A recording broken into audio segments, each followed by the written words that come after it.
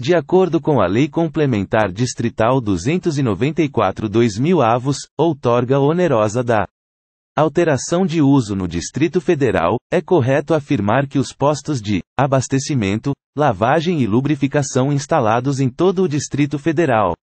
devem possuir plano de emergência que contemple, no mínimo, os procedimentos adequados a cada tipo de acidente e os responsáveis pelas ações emergenciais, de acordo com as resoluções do Conselho Nacional de Meio Ambiente, CONAMA e com as normas técnicas pertinentes. Analisando a questão, você responde verdadeiro ou falso.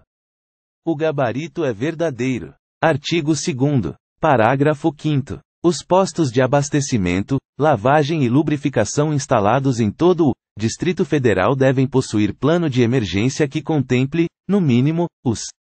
procedimentos adequados a cada tipo de acidente e os responsáveis pelas ações